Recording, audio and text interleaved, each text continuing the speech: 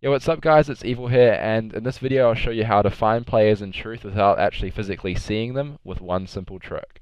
So what a lot of people don't realize is that there are actually lights on top of the pink tower, the carbine tower, and both of the bases that light up when players walk underneath them.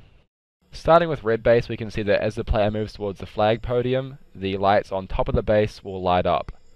And you can see that they stay on until the player moves towards the back of the base.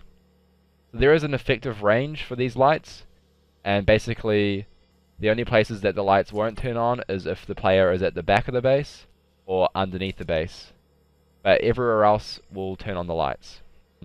So both the blue base and the red base have the lights on top of them, and their effective ranges are exactly the same. The lights for the pink tower at the top of the tower are at P3, and you can see that as the Spartan moves into the pink tower, the lights will turn on.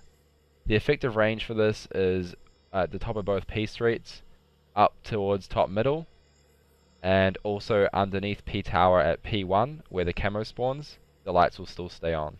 The lights for Carbine Tower are less obvious, but are also at the top of the tower, and we can see them light up as the Spartan moves into the top of the tower at Carbine 2. And the effective range for this is towards top mid, and also it works underneath Carbine at Carbine 1 where the sword spawns, and towards the Carbine streets at both bases. So these lights are really useful to use if you know about them, and they actually can be seen from quite a lot of angles.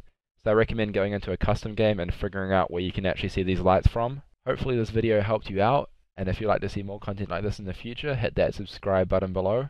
And always, thanks for watching.